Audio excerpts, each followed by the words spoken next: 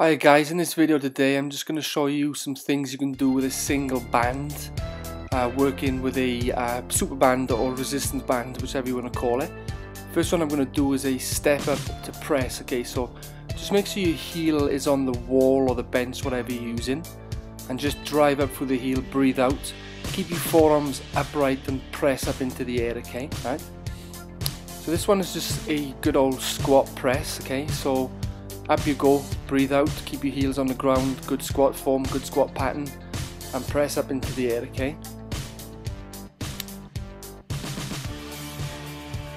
So now we have a variation of progression to that squat where you're just using a single arm, so you're going into a unilateral work, so you, are integrating a little bit more core and isolating one side, okay? So a bit more core work, a bit more trunk work involved in that one.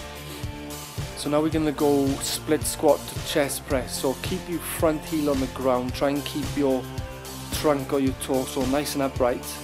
Get the band around the palms of the hands, not around the thumbs, and press out as you're coming up, okay? So now I'm in a plank position doing a prone shoulder press, okay? So with this one I like to get my trunk behind it. Make sure you're turning your trunk into the exercise, not just isolating your shoulder, okay? Get your body moving and assisting behind it. So now we're going to put two moves into one. It's a lower upper combo. Okay, so it's a deadlift to bent over row. Okay, so come down into a deadlift, and then when you come down to that low deadlift position, do your bent over row. Just try and keep your good posture, shoulders together. Maybe a little bit better than I have there. So this one now, I'm going to put the, the, the band on my lower back, not high up around my shoulders so first of all I just showed you a, um, a variation where you're just moving your legs. Now you're going to come down into a spider push-up so your chest is working a bit, bit harder there, okay?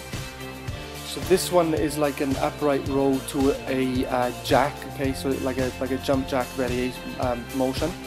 So I'm using my glute medius and my shoulders and getting a bit of metabolic conditioning in the same time, okay?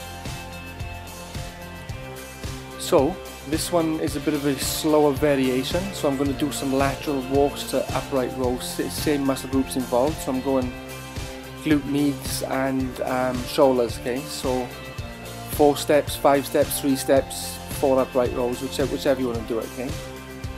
Um, this is a standing overhead tricep press extension, okay, so keep the band on the center of the foot, um, get the trunk trunk into it and press up into the air. Okay, nice and upright, good posture.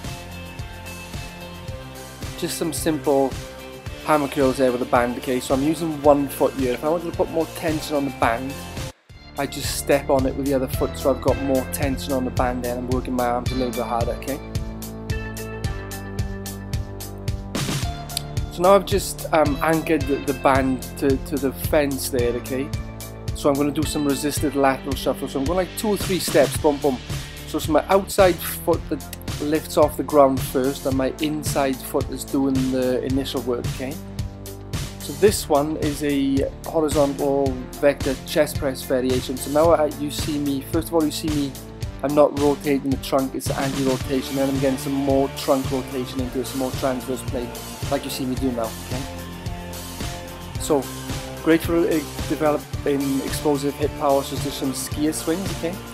If you want to take that to the next level, you can just do some resisted broad jump, jumps, okay? So, as I say, great way for getting some more, developing more hip power in the hip extension, okay? So thanks for watching. Please subscribe if you're not already subscribed and I'll keep doing more videos. Thanks. Goodbye.